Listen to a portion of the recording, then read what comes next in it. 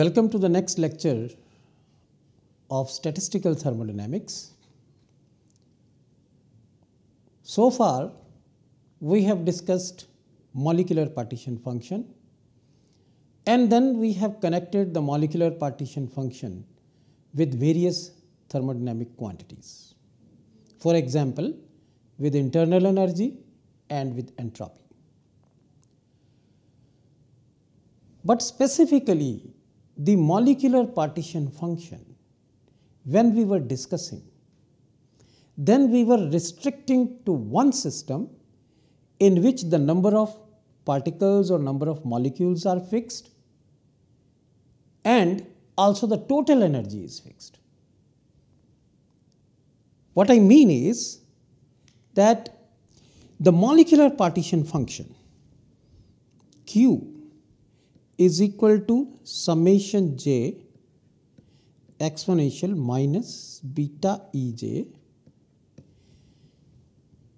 This was discussed for the system in which there are total number of particles or molecules is fixed that means summation i ni is equal to n and also the total energy is fixed that means summation i ni ei is equal to e and all our discussion was based upon the assumption that the molecules do not interact with each other. That means the total energy that we talk about is the sum of individual molecules present in different energy levels. And since we were not allowing the molecules to interact, therefore, the contribution to total energy from any intermolecular interaction was neglected. And if now let us say we allow the molecules to interact. Once you allow the molecules to interact, there can be attractive interaction, there can be repulsive interactions. We can list several type of interactions. Some of the interactions can be exothermic, some of the interactions can be endothermic. If exothermic interactions take place, heat is released and if endothermic interactions take place, heat is taken in. And therefore, the energy is going to be changed. It is not then simply the energy possessed by each molecule and their summation. Then in addition to that, the interaction energy has also to come in. Now we will switch over to the systems which will permit interaction between the molecules. That means we will discuss a system in which the energy of the overall system can change. That means we are allowing the molecules to interact with each other. To begin that discussion, let me introduce the concept of ensemble. So, what is an ensemble? Let us start discussing. The comment, if you read here, what is written over here, is the crucial new concept now we need when treating systems of interacting particles is ensemble. The literal meaning of ensemble is collection. So, therefore, like so many scientific terms, the term has basically its normal meaning of collection, but it has been sharpened and refined into a precise significance. We will discuss a little bit more details of this. So, how do we set up an ensemble? First, let us take a closed system of specified volume, composition, and temperature. What I mean is consider this one block, consider this as a system. What we have is n fixed, when you say n fixed and volume fixed, that means composition is fixed, volume is fixed, temperature is fixed, but energy is not fixed. Because if the molecules interact, the energy may change. So, therefore, let us first consider a system in which the number of molecules are fixed, the volume is fixed, the temperature is fixed. In other words, a closed system, remember the definition of open system, closed system, isolated system. A closed system is the one in which matter cannot go out, the energy can go out. And here, the matter cannot go out is contained in this definition that the number of molecules will not change. So, a closed system of specified volume, composition and temperature. And then you think of it replicated several times. So, that means if you consider this system, now you replicate this system in all direction. This is a imaginary replication. So, this can be n this special symbol whatever is given n times. This n that is the number of the systems in this replication can be infinity and can tend to infinity.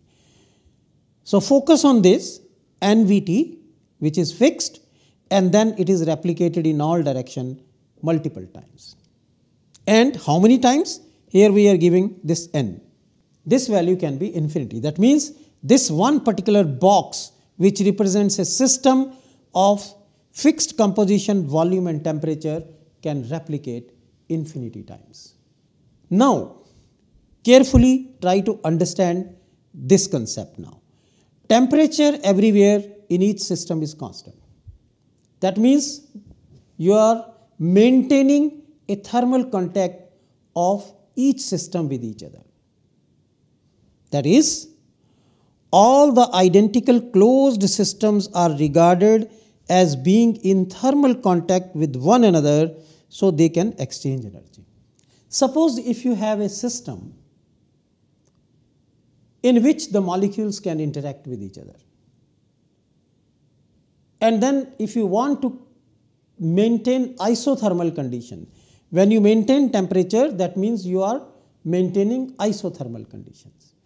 How you can maintain isothermal conditions? Even if you consider construction of some calorimeter or some system in which you carry out a reaction, the interactions take place, but you want to maintain isothermal conditions. Then the excess heat which is generated or the heat which is consumed that has to be compensated for. That means excess heat generated should go out or if the heat is taken in, it produces some cooling, then some more heat should transfer in. So, that is the meaning of being in thermal contact with one another, another so that they can exchange energy. Now, you are allowing the molecules to interact with each other. Now, the total energy of the systems is, let us say, I give another special symbol to it. This is the total energy of all the systems. That means this system plus this system plus this system plus this system add up the energy of all these systems. Let this be designated by this special E character. Now, because they are in thermal equilibrium with one another, they all have the same temperature. And how to maintain the same temperature? We just discussed. That means you let the energy be exchanged, energy be compensated. Fine. This imaginary collection of replications of the actual system with a common temperature is called canonical ensemble. What it means is you have one system, you have defined its NVT properties, that means energy can change, and this is an imaginary replication in all the direction and this as a whole is called canonical ensemble. Let us discuss this concept of canonical ensemble in a little more detail. The word canon means according to a rule. You are setting up a rule over here. An ensemble means collection which is literally encaptured into the definition of canonical ensemble. all the identical closed systems are regarded as being in thermal contact with one another so they can exchange energy. This is the thing that we have already discussed that in order to maintain a thermal contact, in order to maintain a fixed temperature, you have to allow exchange of energy. There are different types of ensembles.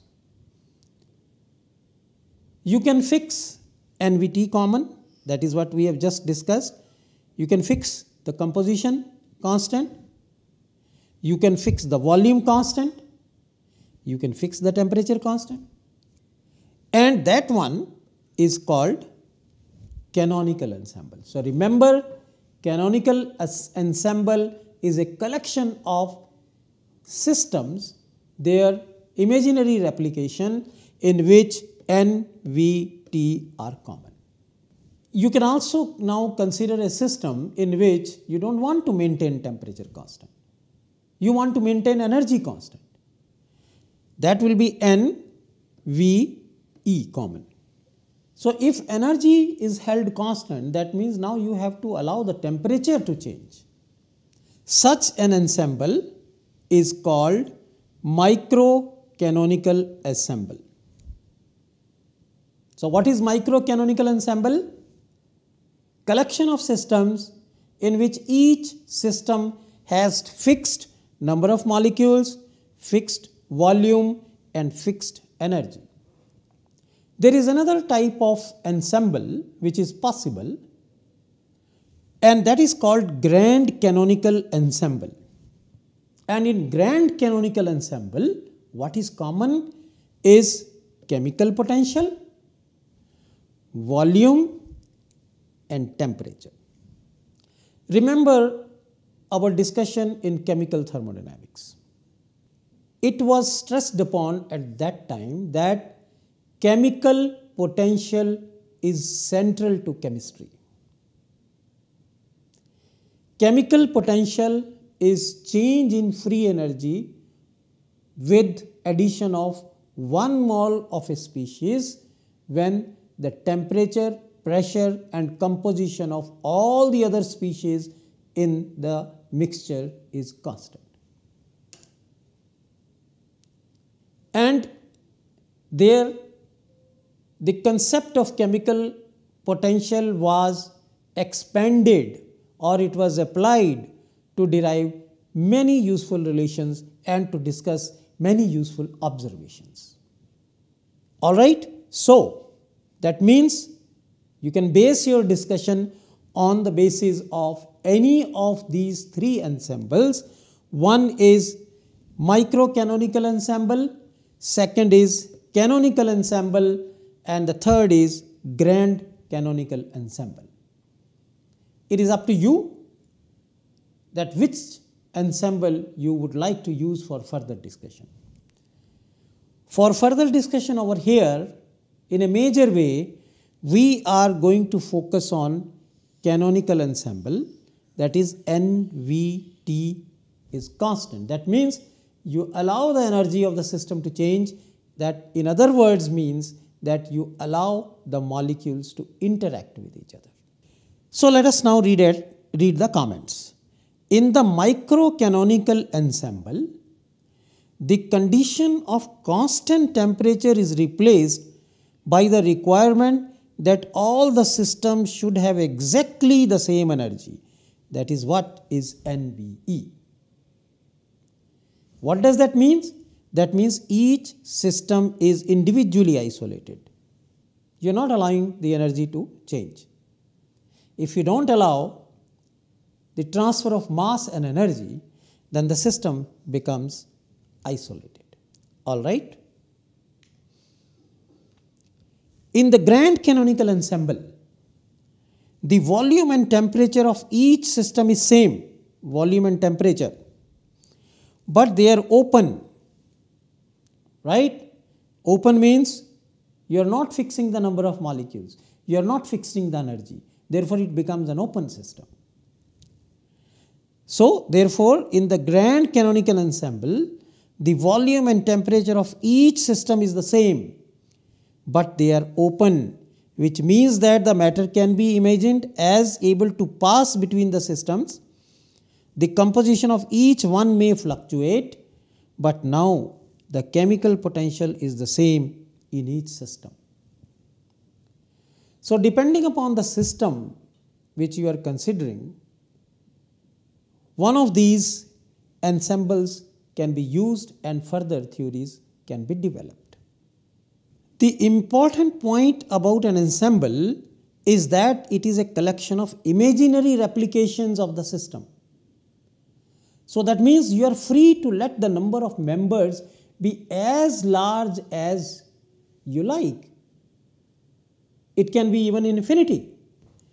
That means this total number of replications, total number of systems can even become infinite. The number of members of the ensemble in a state with energy EI is denoted Ni. One system may have some energy, second system may have some another energy, third system may have energy of number 1, fourth system may have some different energy. So, in general, the number of members of the ensemble in a state with energy EI is denoted by this special character Ni. This is one member, this is second member, this is third member of the whole ensemble. So, how to write the total number of members of ensemble in a state EI is we are calling this as special character Ni. And similarly now you can talk about weight of a configuration as we discussed earlier while talking about molecular partition function. There we talked about only one system. Remember, there we talked about only one system in which N and E were fixed. Here we have several systems and that forms an ensemble and there can be certain members with certain energy and therefore their number and population can be defined. And by the same arguments that we discussed earlier, we can talk about the weight of the configuration of the ensembles. And this special character W, let us define that as the weight of the configuration of the ensemble. Remember, this n special character n, which is the total number of members is not related to this n is not related to number of molecules in a given system. Don't get confused with that. This special character of n is the sum of each member means 1, 2, 3, 4, 5, 6, 7, 8, 9, 10. This is the 20. That means here this special character n is 20 but this n the number of molecules in each system is different. So, this is unrelated. These two are unrelated. So, by the same arguments, when we were discussing instantaneous configurations, and there we talked about the dominating configurations. It is very unlikely that the whole of the total energy which is represented by this character will accumulate in one system. Some of the configurations of the ensemble will be very much more probable than others. It depends upon the weight of the configuration. So, we can anticipate that there will be dominating configuration and that we can evaluate the thermodynamic properties by taking average over ensemble using that single most probable configuration. Same argument that we discussed earlier while talking about molecular partition function. And the thermodynamic limit can be that the total number of systems can tend to infinity. And this dominating configuration is overwhelmingly the most probable and it dominates the properties of the system virtually completely. We have to keep that in mind. So, how do we now define the weight of a configuration? Now we have several systems and the addition or that means the total number of systems is this special n character. And let there be n0 number of members in zeroth energy state. Okay, remember n0, n1, n2, they represent how many members of this ensemble are in ground state, first excited state, second excited state, etc., etc. So that means when we talk about an ensemble and weight of a configuration will be given by this n factorial over n0 factorial, n1 factorial, n2 factorial, etc., etc. Now, let us go back to our discussion of molecular partition function. We will adopt the same procedure that we adopted in molecular partition function. There we searched for the configuration which has maximum weight. Right, we discussed in terms of log w, then d log w, we set that equal to 0 and tried to find out the expression for Boltzmann distribution. The procedure to be adopted here is exactly the same. That is, the configuration of greatest weight subject to constraints that the total energy of the ensemble is E. Constraints you remember. Earlier, while discussing molecular partition function, we had two constraints that is the sum of the number of particles in each state has to remain same. And second, the total energy of the system must remain same. Here, what are the constraints to be used? Is that the total energy of the ensemble is E and that the total number of members is fixed at N. We are not going to do those derivations again because the procedure is same but simply let us now discuss the result. Remember earlier it was Ni upon N is equal to exponential minus beta EI divided by molecular partition function.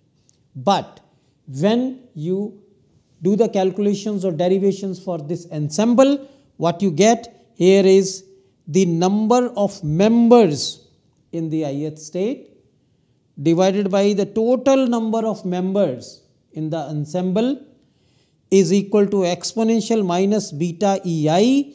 ei is the ith state in which the ni number of members are placed. And q is the canonical partition function. Now, instead of small q, what we write is capital Q. Let us read the comment. The configuration of greatest weight subject to the constraints that the total energy of the ensemble is constant at E and that the total number of members is fixed at N is given by canonical distribution Remember this is the same format, is the same definition as you used for molecular partition function, but only here this different notations they apply to ensemble.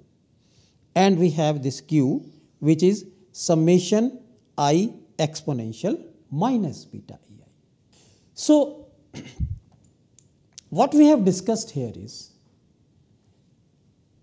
that instead of considering only one system.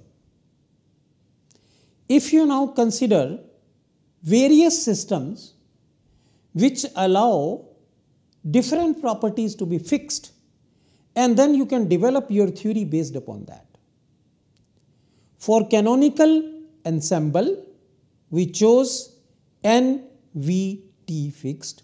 That means you allow the molecules to interact with each other, the energy can be exchanged and we derived a Boltzmann distribution for such an ensemble and came up with a new form of partition function which we no more call molecular partition function but we call canonical partition function we will have a little bit more discussion on this canonical partition function and see how to recover molecular partition function from canonical partition function in the next lecture. Thank you.